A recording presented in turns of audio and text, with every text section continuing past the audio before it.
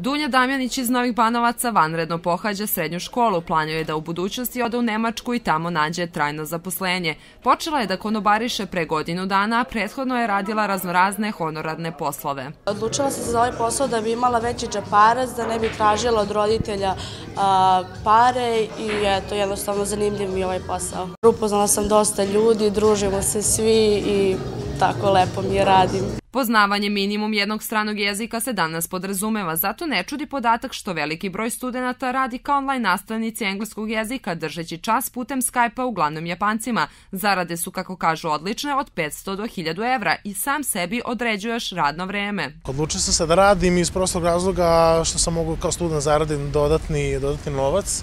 Ehm, Držao sam časove inače ovako nekim, nekim svojim drugarima i drugaricama sa fakulteta, tako da sam odlučio ovaj, da se prijavim, pošto sam znao neke ljude koji su davali časove preko interneta. Omladinska zadruga Stara Pazova 45 postoje od 2015. godine. Trenutno broj 250 zadrugara za članstvo je potrebna lična karta, indeks ili džačka knjižica, tekući račun, zdravstvena kartica, a za lica mlađe od 18 godina potrebna je saglasnost roditelja. Najčešće stvarno jesu magacinski poslovi u tovaristovar, deklarisanje robe, Ima dosta uh, onih koji ponude, poslodavci koji ponude i nešto u struci, mada je to malo onako teško naći, ima dosta njih koji su i ponudili uh, posle par meseci rada, čak i za stalno posao. Srednjoškolci se najčešće odlučuju za honorarni posao kako bi imali veći džeparac ili da plate određeni hobi, a studenti pored dodatnog novca rade kako bi plaćali studije.